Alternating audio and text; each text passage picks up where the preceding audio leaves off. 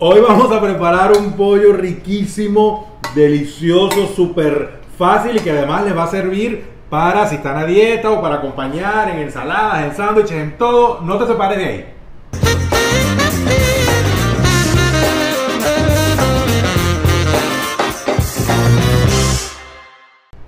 Bienvenidos a Sabrosa Pasión Digital. Hoy estoy contento de compartir con ustedes una de mis recetas favoritas porque es muy especial, sobre todo cuando quiero comer sano, cuando me estoy cuidando la dieta y etcétera. Les voy a contar, es mi pollo favorito. Necesitamos unas pechugas de pollo deshuesadas, limpias, bien bonitas como estas que yo acabo de preparar acá y los tres modelos o tres colores de pimentón, rojo, verde, perdón, verde, amarillo o naranja, un tomate que esté grande y bien, bien madurito. Un poquito de adobo, o sea, una cucharada grande de adobo y una cucharada de sal. Yo uso sal rosada, pero si tienen de la blanca, también sirve. Este pollo es una exquisitez porque una vez que esté listo, lo van a poder combinar y lo van a poder usar como quieran. Por ejemplo, yo agarro una ensalada y le pongo ese pollo destrenzado, desmechado, desmenuzado, en tinga, arriba.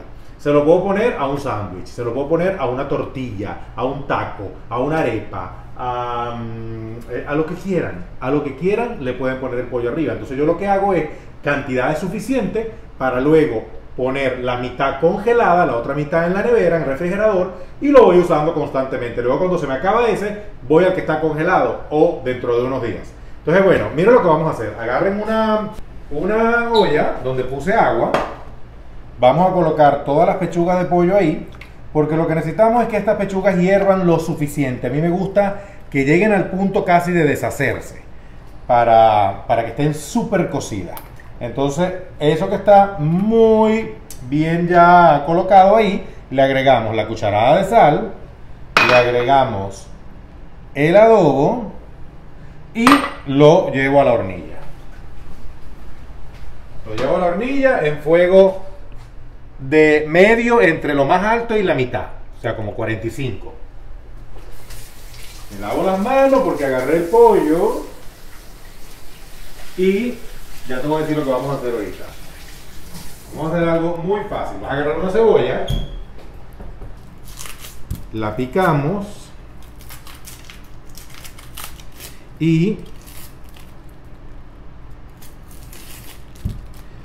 lo que vamos a hacer con esta cebolla yo recomiendo que la lavemos antes y que tratemos de no respirar muy profundo y cerca para que no lloremos, ¿no? Un, secretico para no llorar. Ok. Esta cebolla la vamos a picar en juliana pero gruesa, grande, porque lo que vamos a hacer es ponerla en el agua. Y pues bueno, mira, en el agua se termina deshaciendo, así que o sea, se pone toda desmenuzadita, se va como poniendo transparente. Entonces la forma en realidad no la vamos a, a ver. Vamos allá. La ponemos ahí. Y listo. Lo que vamos a hacer ahora es esperar unos 45 minutos para que estén bien, bien hechas esas pechuguitas.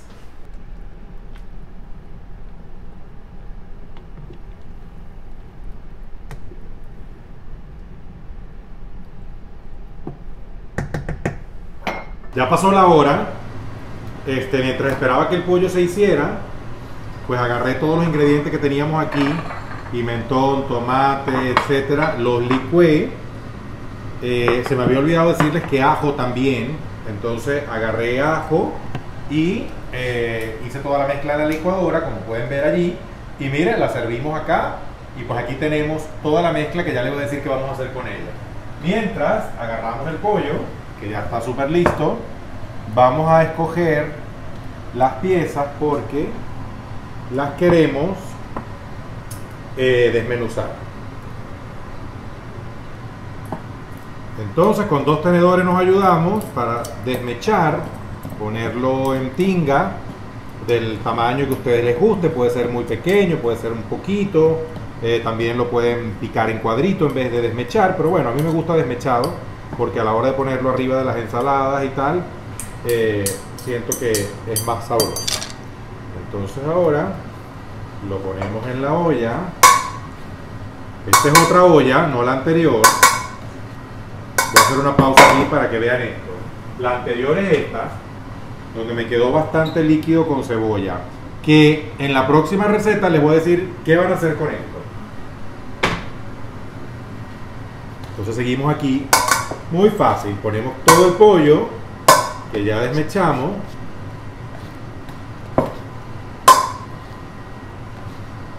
Mira cómo suena. Le ponemos las dos salsas. Bueno, las dos no, es la misma, pero en dos envases. Mezclamos y venimos a la hornilla. Lo dejamos aquí unos 15 minutos más o 20 a fuego medio, simplemente para que agarre sabor, color y queda más rico. Así que lo veo en 15 minutos. Lo tapan si les gusta jugoso. Si lo quieren seco, lo dejan sin tapa. A mí me gusta jugoso y yo lo voy a tapar. Ya está listo, ya pasó el tiempo, ven a ver. O bueno, quédate ahí. Yo me llevo la ollita para allá. Mira esta maravilla. Ah. Qué rico, se empañó el lente de la cámara. Bueno, huele espectacular, ¿sí o no? Entonces ahora servimos un poco.